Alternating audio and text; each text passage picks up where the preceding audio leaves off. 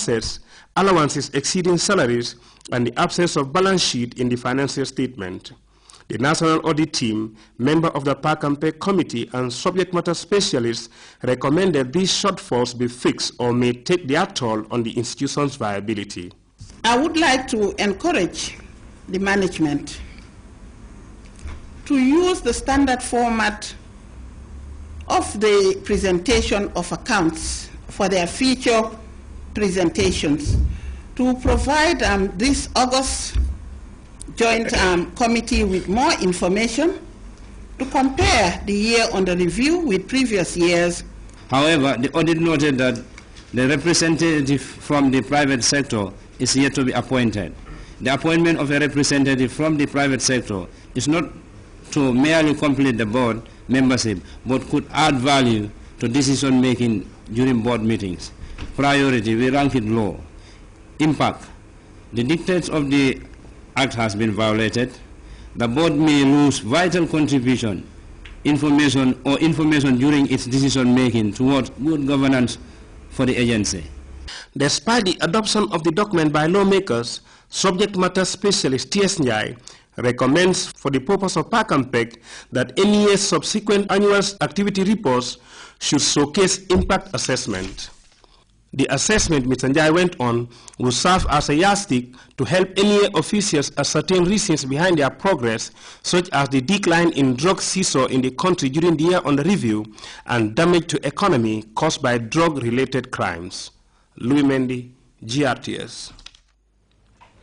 In his bid to better acquaint himself with conditions at the country's health facilities, the Minister of Health and Social Welfare and National Assembly Matters, Balla Garba Jahumpa, accompanied by top health ministry officials, toured health centers and related facilities in the Upper River region. Our Babakar Kamara went along and this is his report. He continued his tour to 12 health facilities within Basse region, significantly substantiated by their distance and much desired road network.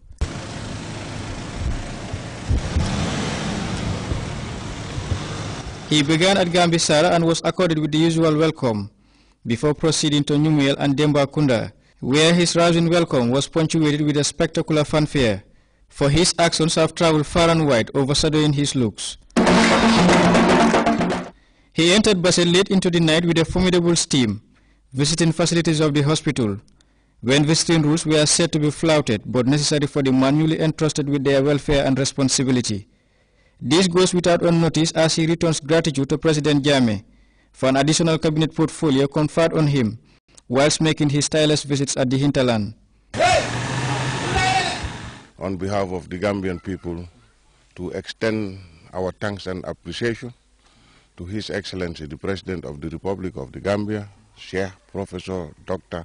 Alhaji Yahya Abdul Aziz Jemus Junkung Jammeh, for the additional portfolio being responsible for National Assembly affairs.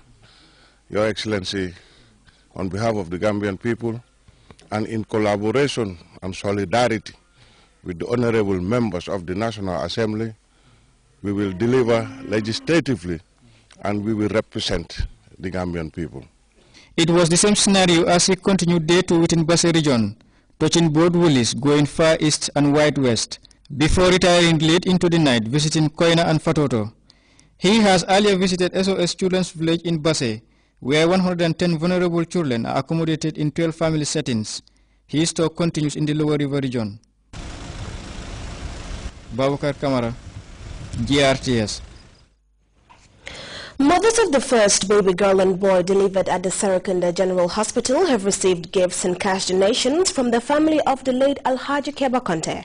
Fatu Jasi picks up the rest of that story family is not only contributing its quota to national development, but also helping to save the lives of women and children by assisting the maternal ward of the Serekunda Hospital. The move, which was initiated by the late Alhaji Keba Conte, is meant to help in the reduction of maternal mortality in the country.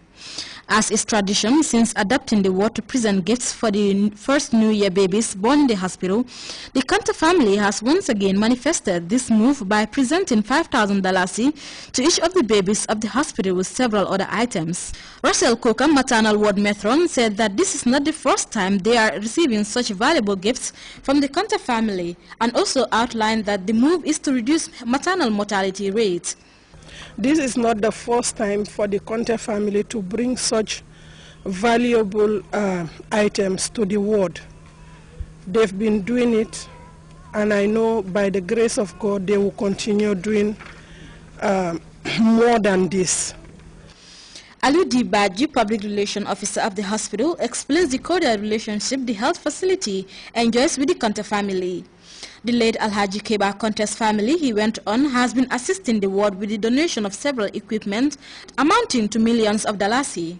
It is with great pride and humility that we are witnessing the beginning of yet another useful partnership with the Conte family.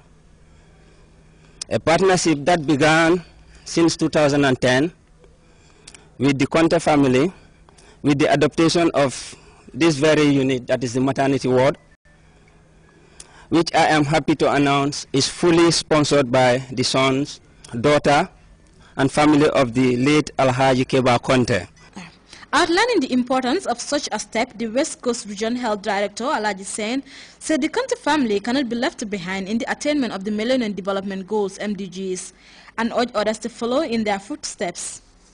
On behalf of the Ministry of Health and the entire Regional Health Management team, um, we are most grateful to the Conte family. This is a manifestation of your commitment to supporting uh, national development. As we all know, that um, government is doing a lot in combating infant and maternal mortality, reduction of maternal mortal, uh, infant and um, maternal mortality in this country. We all know government cannot do it alone. And we are blessed in this country, Gambia, where you have free maternal and child health services, free of charge. People are giving care free of charge. You all know what it means when something is free. You have a, a question of sustainability. Government cannot do it alone. And this is why we need people like the Conte family and the philanthropists to come over and complement what government is doing. Speaking on behalf of the family, Alhaji Mbai reflected on the life of the late Alhaji Keba Conte and outlined the good the family enjoys in sharing with the less privileged. Alhaji Keba has been known in this country as a philanthropist by all the aged people or the aged pa's and mummies in Banjul. Naming Alhaji Keba Conte's memorial word here really it's just proximity that made it possible this way. But he's much known in the URD, MID, CRD as Pa Conte. Alaji Keba was useful in this country, not only as a medical personnel, but was once a mayor in Banjul. That's the type of citizens that we believe we can always emulate and set ourselves to contribute in the development sphere of Gambia. Momodu Conte, son of late Alhaji Keba Conte, explained that some of the items they have given out stems out of their frequent visits to the hospital. The materials form part of contributions by members of the family. The first baby girl and baby boy were then presented with $5,000 each, a suitcase each, bath pants and other items. The rest of items ranging from air condition, clothes for orderlies, bed sheets, Window curtains, nebulizer, clean detergents and many items were handed over to Alhaji Keba Conte Maternal Ward. Aja Bajaha, grandmother of the baby girl, and Stella Yausin, a nurse at the ward, both thanked the Conte family for their support to the hospital. The family was later taken on the tour of the ward. For GRTS News, I am Fatu Jassi. Well, we're going to take a very short break now. The news continues in just a moment.